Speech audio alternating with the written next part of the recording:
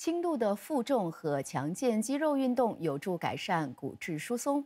主角妇幼医院一项专为骨质疏松症患者开办的集体疗程，就通过有氧韵律操等运动强化患者的骨骼。近六成学员在完成至少两年疗程后，脊椎和髋骨的密度有所增强或维持。记者学术会报道。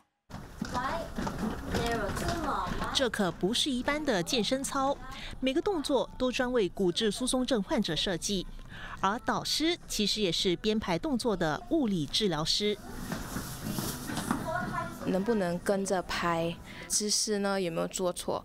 如果有错的地方呢？我们的物理治疗师会去调整他们的姿势。运动之前的话，我们会先测量呃参与者的血压以及动脉。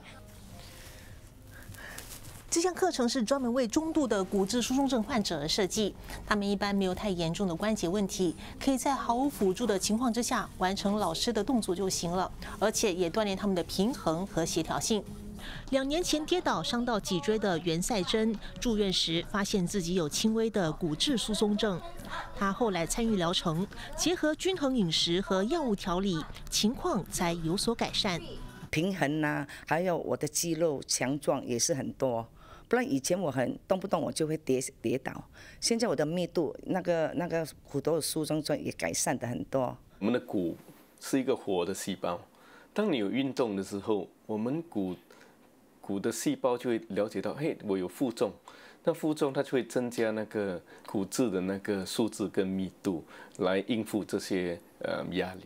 医院计划将运动班推广到社区，让更多其他受医生鉴定、确认适合参与课程的患者受益。